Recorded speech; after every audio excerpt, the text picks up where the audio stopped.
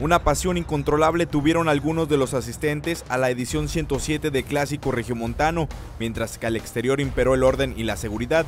Al interior del inmueble deportivo se registraron peleas entre los aficionados.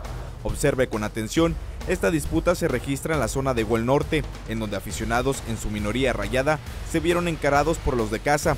En esta imagen se observa cómo un aficionado de Tigres intenta calmar la situación, mientras que es abrazado por este hombre que porta una camisa del Monterrey y quien es golpeado por otro aficionado. Tras la agresión, el aficionado de Tigres insiste en calmar la situación, sin embargo, el resto de los aficionados se observa se encuentran enfurecidos y no dudan en confrontar a este hombre.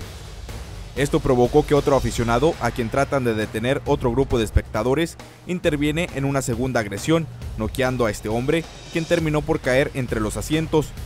Al percatarse de la acción personal de seguridad del estadio, trata de intervenir, sin embargo el superior que porta el número 15 de identificación no detiene al agresor y se muestra titubeante para proceder conforme al reglamento interno. El hombre agredido resultó con una herida en el rostro, sin embargo fue a su asiento, donde trató de reducir la hinchazón con un cubo de hielo, mostrando cierto enojo por lo ocurrido. Sin embargo, la situación persistió cuando los aficionados se reclamaban entre sí. Tras la agresión, los aficionados permanecieron en su lugar sin que la seguridad interna actuara para sancionar ese tipo de actos que mancha la fiesta de fútbol y de la convivencia familiar.